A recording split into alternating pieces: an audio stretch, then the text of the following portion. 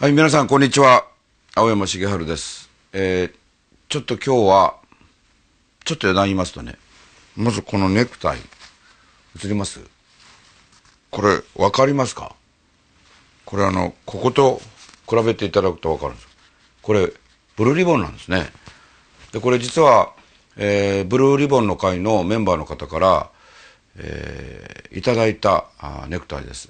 僕の拙い講演をお聞きになってその後送ってくださってこれ西陣織なんですね。でブルーリボンをこういうふうにこう織り込んでるわけですね。これあの一般にも売ってらっしゃるそうです、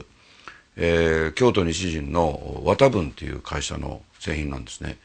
あのこれも通じて、えー拉致被害者を取り返す運動の一助になればというお手紙いただいてますんでもしご関心の人はあの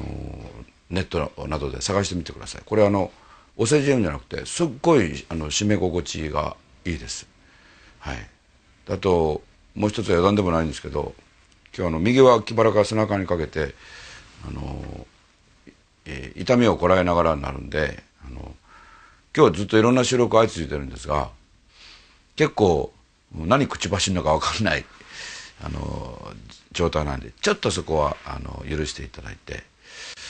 あの実は普段僕普通の地上波のテレビ番組であれそれから例えばチャンネル桜のような CS 放送であれそれから僕自身の青山茂春 .tv っていうインターネットテレビでもこの民主党政権に限った批判っていうのは実はほとんどしないです。あのそうじゃなくて敗戦後の日本の65年間全体を見て、えー自民も民主も同じ既得権益の紙の裏表のようなものだと。だからあの民主党のせいにして、えー何かよくは良くなるわけじゃない。じゃあ自民党は保守政党と言いながらあの長い、えー政権の間憲法を実際に変えようとしたことは一度もなかった。安倍政権の時に国民投票を作った。それは高く評価しますけれどもその後3年間の凍結期間その大半は自民党政権だったわけですけれども国民投票法を生かして、えー憲法を正しい私たちの憲法にしようとする動きを自民党も全くといいほどしなかったからです。えーちょっとやっぱり今日ね滑舌悪いんですけど普段よりも普段も悪いですけど普段よりも悪いんですけどそれを考えると民主党政権だけのせいにできないましてや菅さん戦国さんだけのせいにできないっていうのは僕の考え方なんで普段はその民主党政権に限った批判っていうのはしないんですけど今あの講演会で、えー例えばお会いするっていうかその対話する地方の方々もそして、えーこの首都東京の方々も話す機会がある人はもう大半の方がこんな政権で大丈夫なのかということをおっしゃいます。えーですから超人大陸の問題提起は正しいと思うので、えー今日はあ普段テレビで言わないそのことを話したいと思うんですね。であの民主党政権というくくり方もできるけども一番はっきりしてるのはここ2代続けて、えー私たちの日本国は歴代総理の中でも最低最悪の一番下劣な総理大臣を2人持ったということは事実です。えー鳩山さんと現在の菅さんですね。でまああの僕は元政治記者ですから日本政治史の勉強は当然、えーします。あの共同通信大阪支社経済部から政治部に上がる時に、まあ、過去の政治史の本をたくさん読みましたでそういう会ったことない総理と比べてもそうだしそれから自分が実際に取材した人から言えば僕は中曽根政権の時の総理版ですから中曽根さんその後の竹下さん宇野さん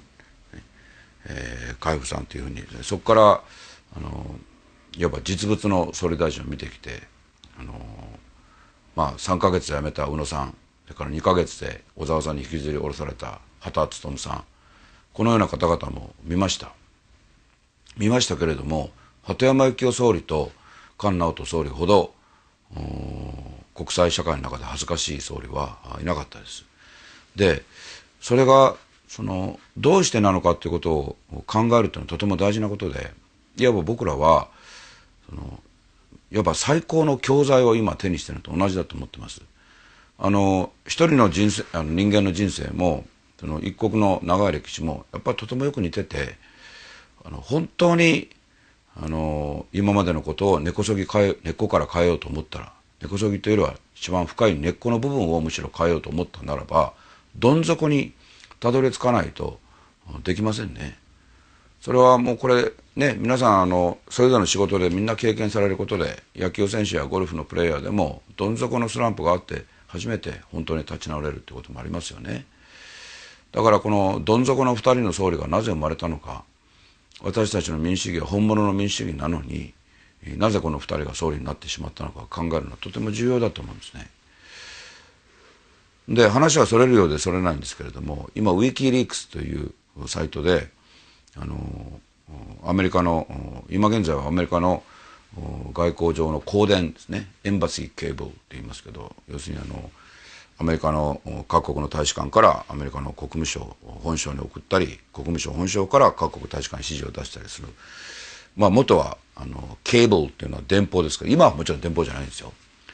あのでもその中にね例えば各国の指導者への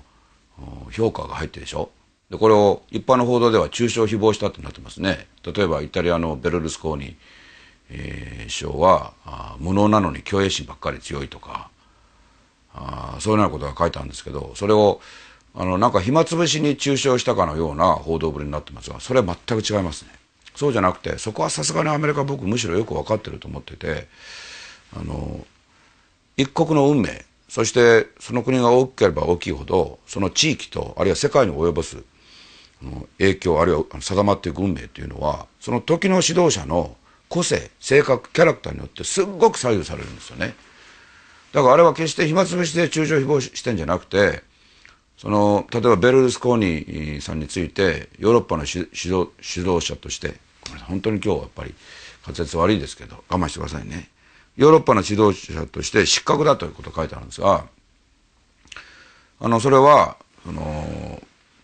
要するに本当の実力を押し隠して全部飾ろうとする人がそのサミットに出てくるっていうのはあのどういうことなのかというのをですねその人物批評というよりはこういうキャラクターだということを踏まえなきゃいけないだからベルルスコーニさんと約束してもそれが彼のその自分を飾り立てる性癖と合致しなければ実は実行されなかったりしますよっていう重大なことをあのサジェスト示唆してるわけですよね。で従ってその僕らの持った最悪の総理であるところの鳩山さんと菅さんもそのどういうキャラクターなのかっていうのをもう一度言いますがその暇つぶしのようなあるいはワイドショーの芸能の話題のような感覚じゃなくて厳し厳しく人を見抜く目として僕ら有権者はやっぱり持つべきだと思います。